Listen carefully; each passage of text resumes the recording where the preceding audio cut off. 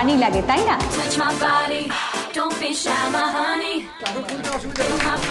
Director Amit Sen's not over not out is a comedy film আর এই ছবির music রিলিজেই আমাদের style up team আজকে এখানে হাজির।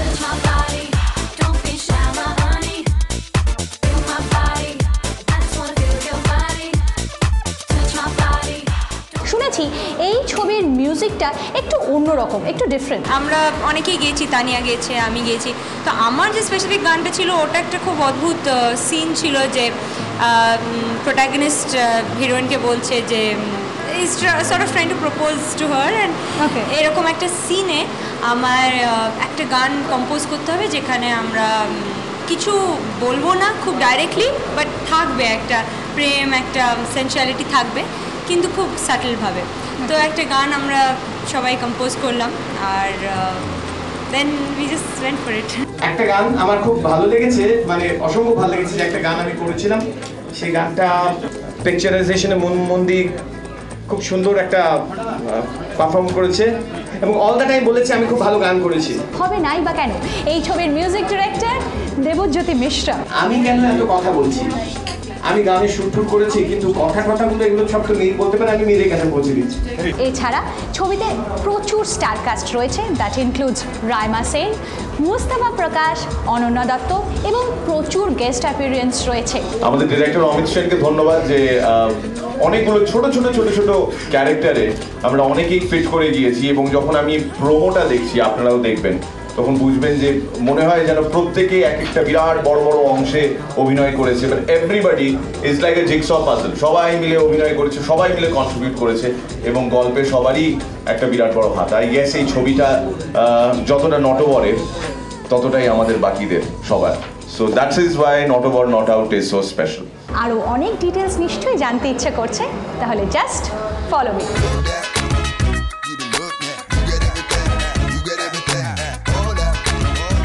যে চরিত্র আমার চরিত্রের নাম মঞ্জুলা মঞ্জুলা। মঞ্জুলা এবং দুটো একটা একটা অ্যাড ওয়ার্ল্ড লেখানো হচ্ছে এবং অ্যাড ওয়ার্ল্ডের আমি একজন কপি রাইটার এবং সকলে ভালোবাসে ঠিকই ভীষণই ভালোবাসে কিন্তু কোনো একটা জায়গায় কোথাও ভীষণ বোকা মানে একটা খোরাক খোরাকও মানে একটা অ্যাড ওয়ার্ল্ডে সিজে খোরাক অলসো দেখতে গেলে তো সেটা করতে খুব মজা হয়েছে এবং চরিত্রের মানে বৈশিষ্ট্য হচ্ছে কথার মধ্যে নানা ছন্দে সে কথা বলে আচ্ছা। মানে মঞ্জুলা মঞ্জুলা কথা মনে পড়লে তার লক্ষ্মণজুলার কথা মনে পড়ে।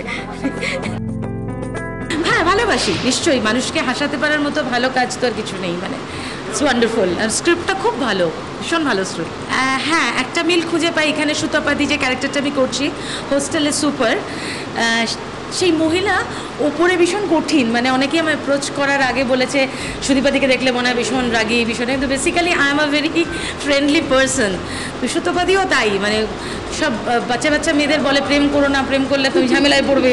কিন্তু আসলে বাচ্চা মেয়েগুলোকে প্রোটেক্ট করার জন্যই সেটা বলে। কাজে সেদিক থেকে ওই ওপর থেকে কঠিন কিন্তু ভেতরে নরম, সেটা আমি একটা মিল পাই। আমার চরিত্র সম্পর্কে আমি নিজেও জানি না। অ্যাকচুয়ালি অমিত সেন, যিনি এই ছবির ডিরেক্টর তিনি বহু বিজ্ঞাপনে কাজ করেছেন এটা আমরা সবাই জানি এবং সেই বিজ্ঞাপনে কাজ করা সূত্রে আমার কণ্ঠস্বর তার বিজ্ঞাপনে কয়েকবার ব্যবহৃত হয়েছিল আর কি।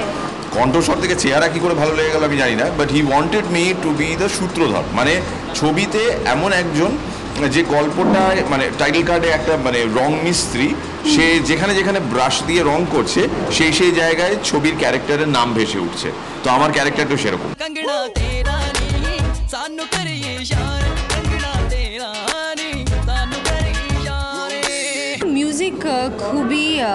ক্যাচি টাইটেল সং খুব ক্যাচি মার মা একটা সং করেছে, ওটা পরিণীতা রেখা স্টাইলের মতন একটা সং প্লিজ ডোন্ট এক্সপেক্ট যে একটা রাখি সাওয়ান্ত নাম্বার তোমরা দেখতে যাচ্ছ কি কিছু বাট হ্যাঁ অনেক দিন পরে কাজ করে because he is a very intelligent boy advertising থেকে এসেছে। It was a nice script I enjoyed it আমি একটা রোম্যান্টিক সং আমার উপরে পিকচারাইজ হয়েছে আমি আর আমার আর প্রকাশের ওপরে তো আমার that was done so beautifully all in white তো বলব গানগুলো খুব ক্যাচি আর যারা গেয়েছে তাদের খুবই বিউটিফুল ভয়েসেস আর হ্যাঁ আর আমি অনেক দিন পরে বাংলা ছবিতে নাচ গান করলাম তো খুবই ভালো লাগল। এখন আমি আবার তিন বছর পরে আবার ইচ্ছুক হয়েছি but I have to lose little weight the sensible comedy is by a sensible director. So uh, hopefully a lot of characters আছে অনেকে অ্যাক্টিং করেছে আমরা সবই খুব চেনা ফেসেস তো হোপফুলি সবার ভালো লাগবে। নট আউট একটা খুব সংক্ষেপে বলতে গেলে মজার ছবি আনন্দের ছবি পরিবারের ছবি বাঙালিদের ছবি কবিতার ছবি রবীন্দ্রনাথের ছবি গানের ছবি এবং it is an wholesome entertainment film Natobar একজন কুইন্টেসেন্সিয়াল বাঙালি ছেলে যে আমাদের প্রত্যেক বাঙালিদের মধ্যে তো একটা কবি সত্তা আছে তো সেও কবি হতে চায়। এটাই তার জীবনের ক্রাইসিস তো এই কবি হতে গিয়ে যে নানা রকম উত্থান পতনের মধ্য দিয়ে যায় অনেক হাস্যকর সিচুয়েশন তৈরি হয় সেই নিয়েই নটবর বজ্রাঘাতে স্তব্ধ চারিপাশ। বড় নেতার ক্ষুদ্র কতিবাস he suited the cast he suited the role okay দেখে যে দেখেই মনে হবে যে ও যেন পাশের বাড়ির একটি একটি কবি। নটপর এমন একটা ক্যারেক্টার যে হচ্ছে সেই স্বপ্নগুলো মানে নি বুকে নিয়ে তার এগিয়ে চলার কাহিনীটাই নটবন মাথা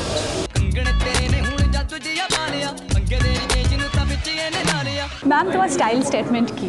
Be clean be not try to follow fashion be যেটা তোমার ভালো লাগে সেটা করো।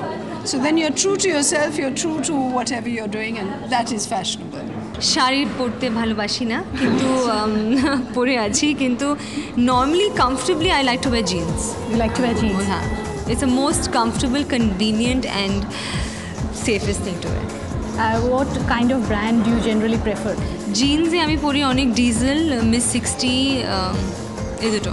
I think whatever makes one comfortable হয়তো দেখতে অনেক অনেক অনেক ব্র্যান্ডেড জামা কাপড় অনেকে অনেক অন্যের জামা কাপড় অনেকের ভালো লাগে। হ্যাঁ হয়তো তারা কিনতে চান কিন্তু আমার মনে হয় নিজস্ব জায়গাটা মেনটেন করে নিজের যেটা কমফোর্টেবল সব থেকে যেটাতে আমি নিজেকে ক্যারি করতে পারব তার থেকে বেটার স্টাইল স্টেটমেন্ট কিছু হয় না। তোমার কি কোনো ফ্যাসিনেশন আছে towards watch bag I have fascination towards bags okay তো বাবা খুব রেগে যায় কারণ আমি এক্ষুনি ব্যাংককে গিয়ে একটা খুব সুন্দর ডিজাইনার ব্যাগ কিনলাম ক্রেডিট কার্ড দিয়ে তো আমার বাবা বলল যে what is this for one thing what you bought তোমার ওয়ান ব্যাগ কলকাতায় থেকে আবার ব্যাংককে গিয়ে শপিং করার কোনো মানে হয় না। যদি কোনো স্টাইলিশ কিছু কিনতেও হয় New Market is the ideal destination like you are very slim and trim I can see no what you do for yourself মানে কি করো আই?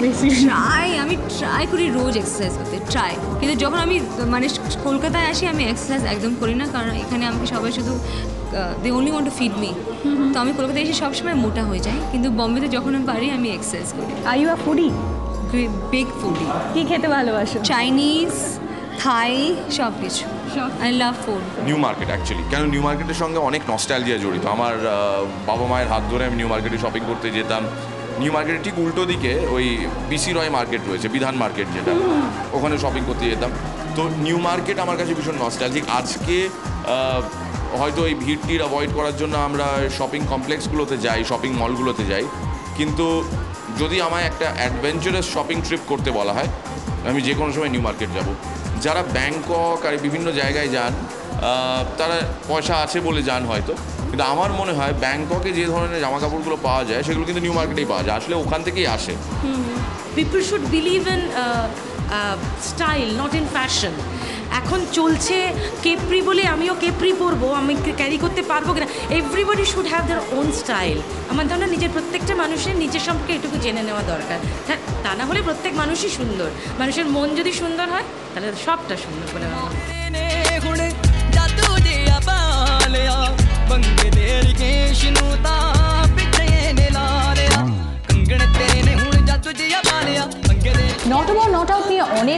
তোমাদের বললাম অনেক ইন্টারেস্টিং গেস্টদের সঙ্গেও আলাপ করালাম কোথাও যেও না এবার একটা ছোট্ট ব্রেক নেব দেখতে থাকো style up tell me your experience in Calcutta I've always visited Calcutta now after I think four five years and it's changed a lot and the people are always hospitable and lovely and friendly.